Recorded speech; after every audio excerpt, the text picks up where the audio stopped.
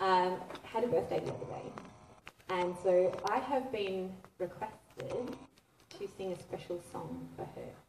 It's not Happy Birthday, not um, this song, I'm not going to say what it is because I want it to be a nice surprise when the penny drops. Um, but this song is um, a song that, well, anyone of my vintage would probably be very familiar with it. Anyone that's too much younger than me probably won't know it. Let's just say it's um, 90s Oz rock. It will sound very different on the piano with the chick singing.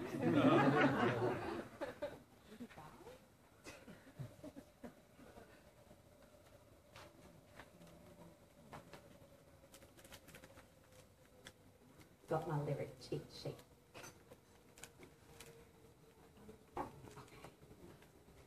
I only learnt this this week.